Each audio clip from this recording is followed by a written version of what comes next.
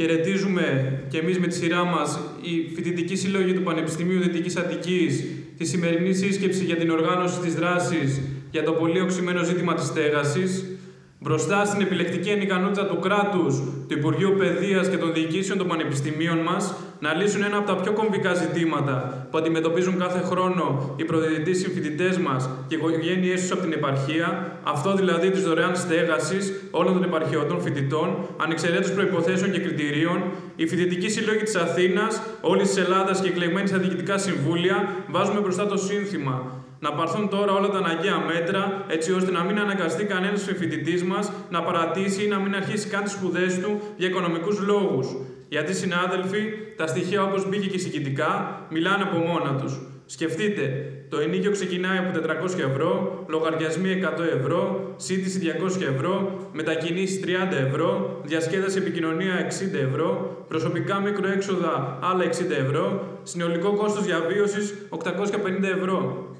Το κόστος διαβίωσης για έναν φοιτητή που σπουδάζει ανέρχεται δηλαδή στα πάνω από 800 ευρώ. Ένας ολόκληρος μισθός. Ενίκιο, ρεύμα, νερό, ίντερνετ και άλλα σήμερα δεν θεωρούνται δεδομένα για έναν φοιτητή, καθώς δεν ξέρει αν θα μπορεί να τα πληρώσει στο τέλος του μήνα. Έτσι σπουδάζουμε το 2023 στο λεγόμενο ψηφιακό πανεπιστήμιο με την ψυχή στο στόμα, μήπως κοπεί το ίντερνετ στο σπίτι μας και δεν μπορούμε να αναπληρώσουμε τις εργασίες για τη σχολή μας. Παράλληλα, όλο και περισσότεροι αναγκαζόμαστε να δουλέψουμε με τις σπουδές μας, με αποτέλεσμα να μπαίνει σε δεύτερη μοίρα η ολοκλήρωση των σπουδών μας λόγω αντικειμενικών παραγόντων, την έλλειψη χρόνου για μελέτη και παρακολούθηση των εργαστηρίων και των διαλέξεων μας, το ωράριο λάστιχο που αντιμετωπίζουμε στη δουλειά μας και άλλα. Παρατείνοντας έτσι τον χρόνο σπουδών μας, προσθέτοντας και άλλα έξοδα στις πλάτες μας, σε εμάς και στις οικογένειές μας. Με λίγα λόγια, το να σπουδάσει ένας φοιτητής σήμερα, πόσο μάλλον ένας επαρχιώτης φοιτητής, αποτελεί αποκλειστικά ατομική ευθύνη του ίδιου και της οικογένειάς του, χωρίς να υπάρχει καμία μέρημνα από το κράτος για τις δυσκολίες που αντιμετωπίζει, τη στήριξη που χρειάζεται στα πρώτα του βήματα σε μια ξένη πόλη. Είναι αδιανόητο σήμερα, εν έτη 2023, μεγάλα πανεπιστήμια της Αθήνας να μην διαθέτουν εστίες. Την ώρα που το ΠΑΔΑ, το Πανεπιστήμιο Δυτικής Αττικής και άλλα πανεπιστήμια της χώρας διαφημίζονται για τις συμπράξεις και τις business που κάνουν με δήμους, τη σύνδεσή τους με πανεπιστήμια στο εξωτερικό, την εξωστρέφειά τους και άλλα, για τις ανάγκες των φοιτητών και ειδικά για το ζήτημα της στέγασης, δεν κουνιέται φίλο.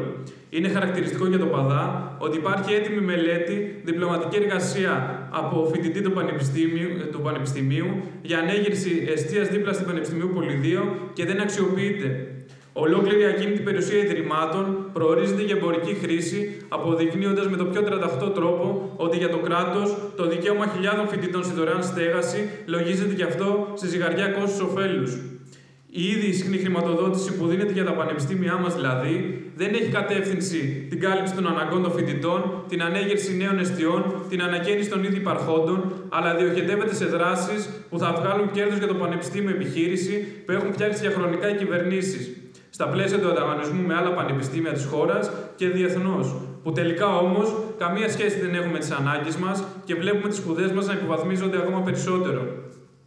Η απάντηση, λέμε εμείς, συνάδελφοι, είναι οργανωμένος αγώνας μέσα από τους φοιτητικούς μας συλλόγους, οι δράσεις και κινητοποιήσει που μπαίνουν συγητικά και το πολύμορφο σχέδιο αλληλεγγύης για τους επαρχιώτες φοιτητές και ειδικά τους πρωτοετής που κάθε σύλλογος πρέπει να διαμορφώσει μπροστά και με την έναρξη των μαθημάτων.